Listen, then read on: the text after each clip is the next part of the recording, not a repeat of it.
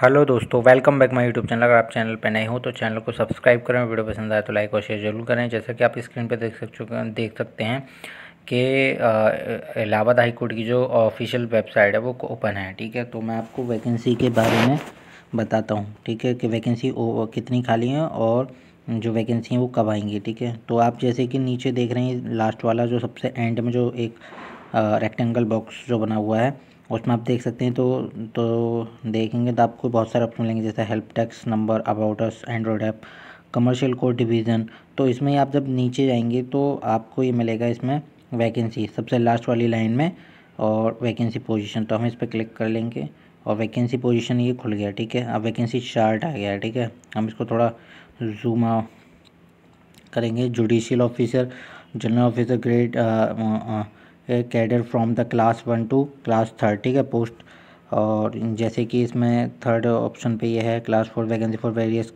category ठीक है? तो class fourth post in the establishment of high court ठीक है?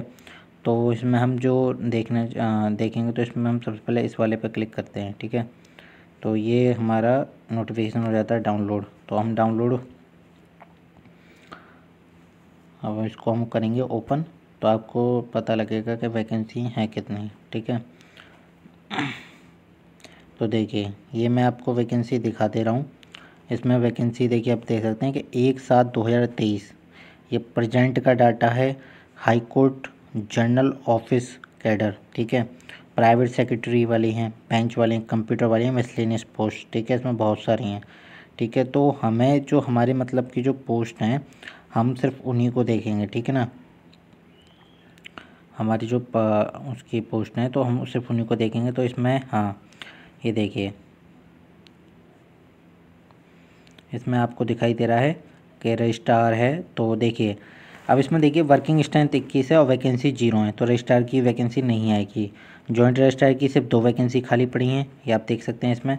डिप्टी रजिस्ट्रार की जो है, चार वैकेंसी खाली हैं असिस्टेंट रजिस्ट्रार की एक है और सेक्शन ऑफिसर की एक है। रिव्यू ऑफिसर आरओ ठीक है, जिसको, जिसका हमें सबसे ज़्यादा इंतज़ार है वही भर्ती रिव्यू ऑफिसर तीन सौ ग्यारह। इस बार मतलब उल्टा होगा, इसका मतलब पिछले बार जब वैकेंसी आई थी तो ए आर की वैकेंसी ज़्यादा थी और आरओ की कम थी तो इस बार आरओ की वैकेंसी ज़्यादा है। तो वैकेंसी 311 हैं, खाली प्रेजेंट में एक साथ तक। और नोटिफिकेशन आएगा तो इसमें शायद कुछ और ऐड हो जाएँ। तो ए आर की जो वैकेंसी हैं वो सौ हैं तो आप दोनों को मिला लीजिए, लगभग चार सौ ग्यारह। है और कंप्यूटर असिस्टेंट की तेईस तो चार सौ ग्यारह लगभग साढ़े चार सौ के आसपास ये वैकेंसी बैठती हैं।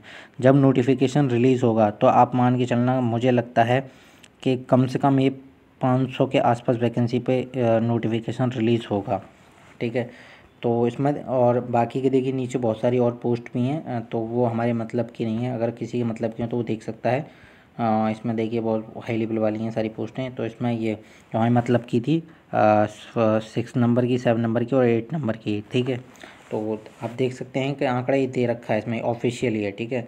तो अब जो लोग ये तो भाई देखिए जो लोग तैयारी कर रहे हैं तो अपनी तैयारी को तेज़ कर दें तो वैकेंसी आएगी। तो मैं आपको एक चीज़ बता दे रहा हूँ। यूपी के अंदर सिर्फ़ दो ही विभाग ऐसे हैं, ठीक है? एक तुम्हारा हाई कोर्ट और एक तुम्हारा यूपी पीएससी सिर्फ़ दो ही ये ऐसे विभाग हैं जो कि टाइम से भर्ती निकालते हैं और करवाते हैं। इनका रिकॉर्ड है छः महीने में भर्ती पूरी कंप्लीट करवा के ज्वाइनिंग दे देते हैं। इसके अलावा यूपी ट्रिपल एस सी आप यूपी ट्रिपल एस सी आप उसका हाल देख सकते हैं। पुलिस विभाग है, उसमें वैकेंसी लगातार नहीं आती हैं आती हैं तो एक डेढ़ साल का टाइम तो लग ही जाता है कंप्लीट होने में।